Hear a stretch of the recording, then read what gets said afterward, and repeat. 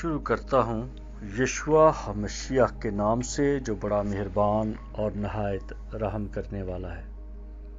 जिसके आगे हर एक घुटना झुकेगा, खा आसमानियों का हो, खा ज़मीनियों का, खा उनका जो ज़मीन के नीचे हैं। एम सी एम यूनिवर्सिटी के तमाम स्टूडेंट्स और मुबारक मिनिस्ट्री में शामिल खिदमत करने वाले बहन भाइयों को सलाम, शलूम, जय मसीह की।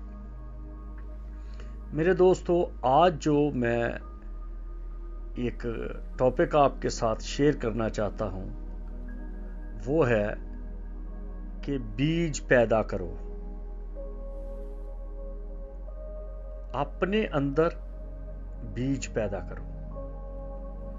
क्योंकि जो बीज का फलसफा है, जो बीज का भेद है बड़ा ही ख़ास और बड़ा अहम है। पहली बात यह है कि मसीह खुदावंद ने बीज के तलक से तीन अनाजील में हमें मुख्तलिफ़ तरह से, मुख्तलिफ़ व्यू से ये बीज को दिखाया गया है। मत्ती की अंजील में तेरवा बाब उसकी इकतीसवीं आयत, आसमान की बादशाही, वो एक जो राई का बीज है उसके तलक से है। मरकस की अंजील, चौथा बाब, तीस और बत्तीसवीं आयत, वहाँ पर भी उसके फैलाव की बात है, कैसे वो फैल गया।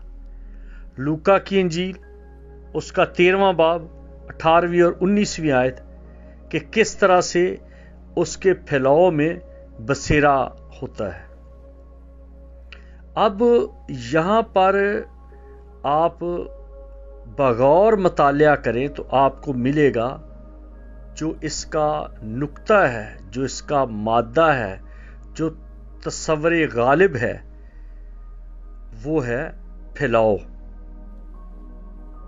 कि किस तरह से वो फैल गया? अगर आप इसराइल में जाएँ और आप देखेंगे कि ये इस तरह से पहाड़ियाँ पीली पीली हो गई हैं, वादियाँ पीली हुई हैं मौसम बहार में, इन दिनों में, कि हर तरफ़ आपको फैला हुआ दिखाई देगा। उसमें कुछ पौधे बड़े हो जाते हैं, कुछ पौधे थोड़े छोटे हो जाते हैं, और कुछ पौधे बिल्कुल छोटे रह जाते हैं। अब इनका जो मेन हासिल है, वो है बीज। सरसों बहुत ज़्यादा बीज बनाता है। बहुत छोटा बीज है।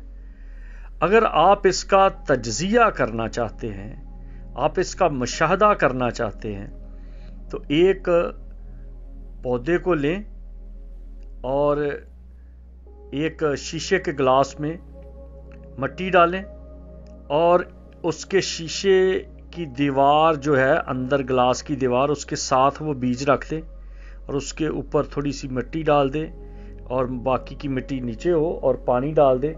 आपको कुछ दिनों के बाद नज़र आएगा कि कितनी लंबी रूट उसकी जड़ें नीचे जा रही हैं। आपको आप देख सकेंगे। और फिर उसके पत्ते ऊपर दे, आप देखेंगे। फिर उसमें से एक गंदल निकलती है आप वो देखेंगे। फिर उस गंदल में से और सारी टहनियाँ निकलती हैं आप देखेंगे।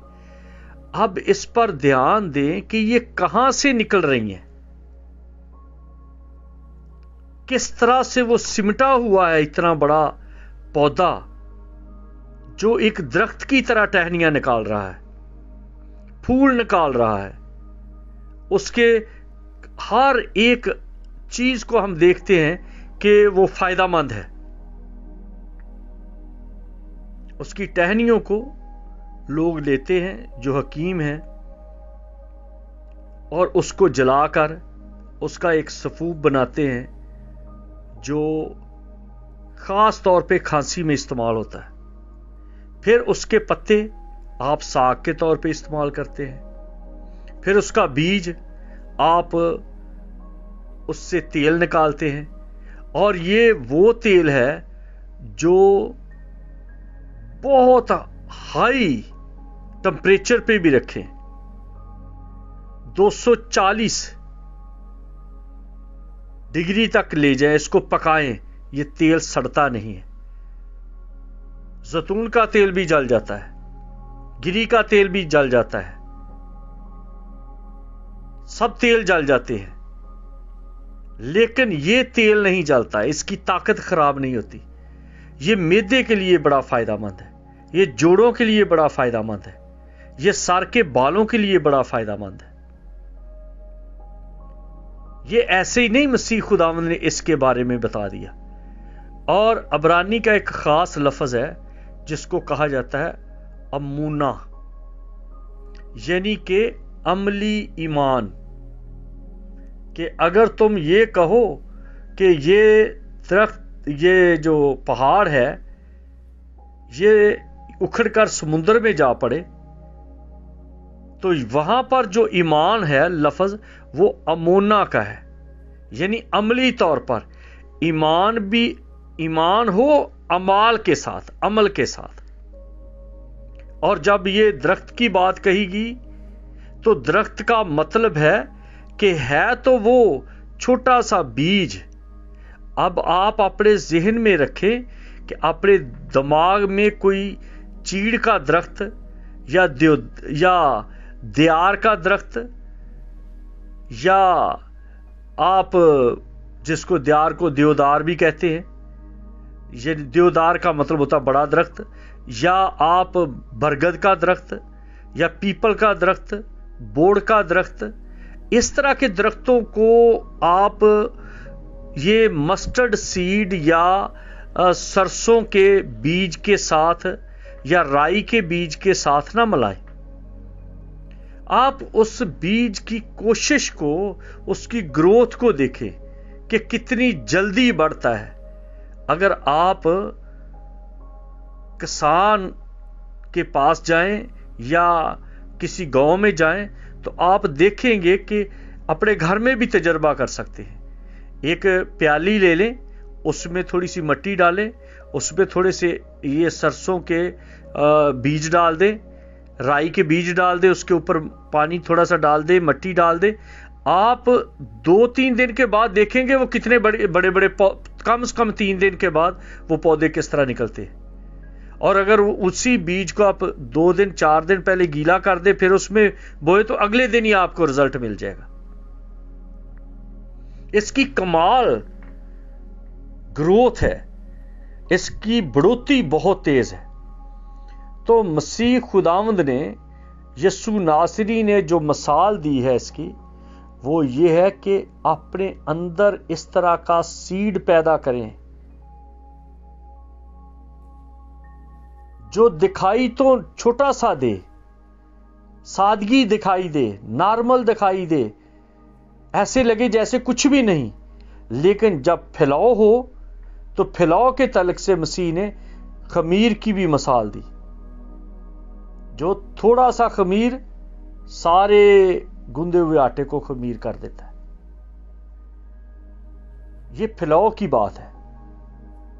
आप फिलौ पर तवज्जो रखें, मरकूज रखें, ना कि आप अपने दिमाग में बड़े बड़े दरख्तों का कि या यस्सु ने तो कहा था, दरख्त तो उस पर दरख्त परिंदे बसेरा कर रहे हैं। तो परिंदे आपके जहन में इंसानी फितरत है कि वो सोचता है जो मिसाल देने वाले ने कुछ और जहन में रखा है, लेकिन सुनने वाला कुछ और समझता है कि उसके ऊपर गिद्ध आके बैठ जाते हैं, उसके ऊपर कौवे आके बैठ जाते हैं, उसके ऊपर जो और बड़े बड़े आप अपने जेन में रख सकते हैं कि अकाब आ रहे हैं और बंगले, जो बगले हैं तो वो आ रहे हैं और फिर इन बगलों के पीछे बड़ी बड़ी और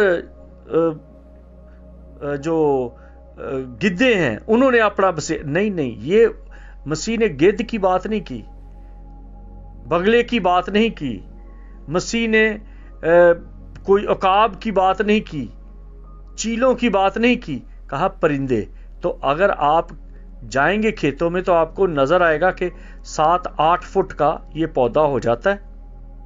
दरख्त की मिसाल दी है इस्तारा इस्तेमाल किया है, कि वो सात आठ फुट का है, वो एक दरख्त बन जाता है, दरख्त की शक्ल। अब आप दरख्त कह लो तो सेब का दरख्त छह फुट का है और सेब से भरा होता है। माल्टिक का दरख्त आप अपने खेतों में देखें तो वहाँ पर वो छह सात फुट का है और उसको बहुत सारे माल्टे लगे हैं।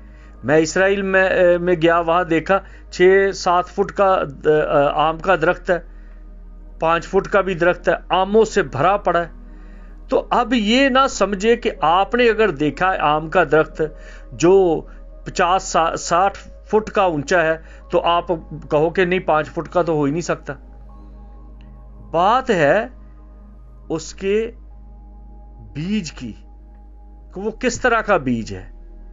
कोई देसी बीज है, कोई फार्मी बीज है, कोई प्योंदी बीज है, कोई ऑर्गेनियन है, कुछ जंगली है तो इस तरह से मेन चीज़ है उसके फैलाव की। सरसों का फैलाव कैसे होता है? तो बीज की ताकत को देखना है तो जैसे आप किसी, आजकल जैसे दौर है कंप्यूटर का तो यूएसबी है। हार्ड डिस्क है। और पहले होती थी फ्लॉपी। तो इस यूएस यूएसबी में या हार्ड डिस्क में टेराबाइट तक है, गैगाबाइट है, टेराबाइट है। तो इसको आप देखें कि कितना कुछ उसमें रखा हुआ है। तो बात है कि आपके अंदर जिसने जो रखा है वो क्या है? वो सीड जो आपके अंदर है, उसका कितना बड़ा असर है आपकी ज़िंदगी में, इस दुनिया में। और उस तरह से अमली ज़िंदगी नज़र आएगी। सिर्फ़ ये नहीं कि छोटा सा मुझे ईमान रखना है बस, जैसे राई के बीज की मिसाल दी है मसीह ने। छोटा सा, नहीं, उसके अंदर आप देख लें ये खजूर का बीज, किसने उसके अंदर बड़ी बड़ी जड़ें जो 40 40 50 50 फुट तक लंबी जड़ें हैं, जो ज़मीन के अंदर अंदर अंदर अंदर फैलती जाती है। और फिर उसके बाद उसका दरख्त कैसा होता है? कितना बड़ा तना। फिर आप बरगद के दरख्त को देखें, बोड़ के दरख्त को देखें। छोटा सा बीज है। और उसका दरख्त एक एकड़ में, डेढ़ एकड़ में उसका फैलाव होता है। पीपल का भी इसी तरह से। किसने उस छोटे से बीज में वो कहाँ से इतना बड़ा दरख्त निकल आया दूसरी बातों को तो आप भूल जाएँ। इधर उधर की बातें सोचना छोड़ दें। सिर्फ़ एक बीज पर ही देखें, सोचें। और इसी तरह से ह्यूमन सीड जो है, इंसानी बीज, खुर्दबीन से देखें। और उसके अंदर जब वो बीज शक्ल इख्तियार करता है हाथ है जो दाऊद नबी कहता है तूने मेरे बेतरतीब मादे को किस तरह से तरतीब दिया? कैसे हड्डियाँ बनी? और वही जो नज़र नहीं आ, आता जब वो नज़र आता है तो ऐसा नज़र आता है कि खुदा भी कहता है कि मैं तुझे देखता हूँ।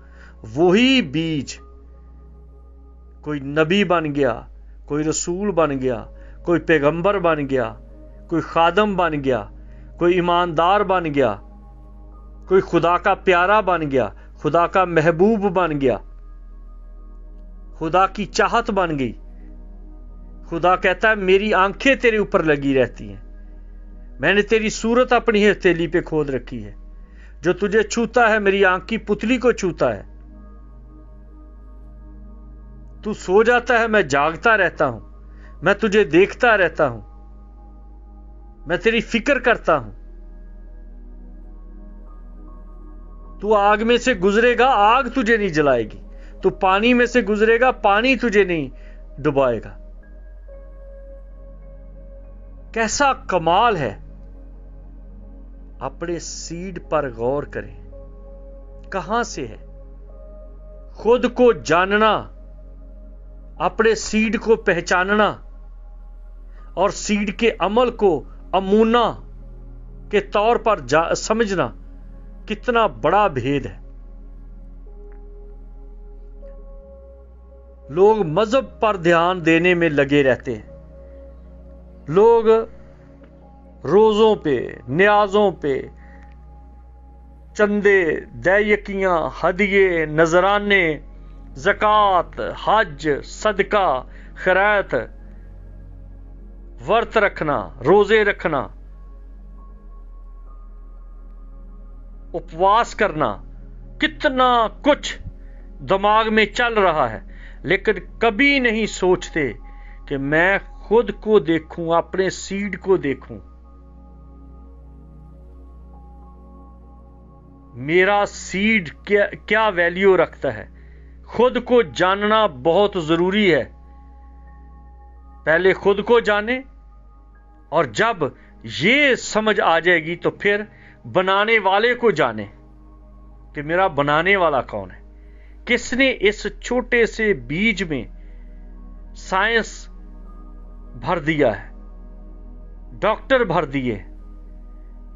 पादरी, इंजीनियर उलमा, अलामा नबी, पैगंबर, रसूल, ये सीड में बैठा है। ये छोटा सा सीड इसमें दरख्त बने हैं। बड़े बड़े तने निकलते हैं। बड़ी बड़ी जड़ें निकलती हैं। और फिर उस पे परिंदे बसेरा करते हैं। यानी कि आप बहुतों का भार उठाने वाले हैं और बहुतों के सर पे साया बनने वाले हैं। अगर आपके अंदर एक असल है, अगर आपके अंदर हकीकत है, अगर कोई इंसान किसी का भार उठाता है और किसी पर अपना साया रखता है यह है मसीह की बात। आसमान की बादशाही भार भी उठाती है और साया भी रखती है। संभालती भी है प्रोटेक्ट भी करती है। फिर वो बात आ जाती है कि आप पहाड़ों को सरका सकते हैं, उनकी जगह से हटा सकते हैं, क्योंकि आपके अंदर सीड है और इसका तजर्बा, इसका मुशाहिदा आप ज़रूर अपने घर में करके देखें। अपनी फैमिली के साथ बैठें, बच्चों के साथ बैठें और बात करें कि इस छोटे से बीज में इतने बड़े बड़े पत्ते और तने और जड़ें और फूल और बीज और खुशबू। ये किसने भर दिए हैं और किस तरह से आते हैं? सिर्फ़ इतना कह देना डीएनए तो डीएनए किसने बनाया है? डीएनए जो है, वो तो पत्ते के अंदर है, पर पत्ता किसने बनाया है? डीएनए तो एक बाल को नोच लें और उस बाल के, की तहकीक से आपको डीएनए मिल जाएगा। पर वो बाल किसने बनाया? वो आँखें किसने बनाया? आप डेले को निकाल के अलग रख लें। कैसे कोई देखेगा? वो डेला तो खत्म है। देखने वाला कौन है? उस बोल को, उस डेले को जो इस्तेमाल करता है, जो देखता है, वो कौन है? ये जो ज़ुबान है, ये तो एक गोश्त का टुकड़ा है, पर इसके जो मज़े हैं, वो किसने रखे हैं? मज़े समझने वाला कौन है? अकेला दिमाग कहाँ पे है? अकेली आँखें कैसे हैं? ये कौन है जो अंदर मज़े भी दे, ले रहा है, और देखता भी है, और चखता भी है, सूंघता भी है, छूता भी है? वो कौन है? उसको जानना है कि मेरा सीड कैसे हुआ। मेरे दोस्तों, समझे, बरीक बातें समझने के लिए बरीक बनना पड़ता है। गहरी बातें समझने के लिए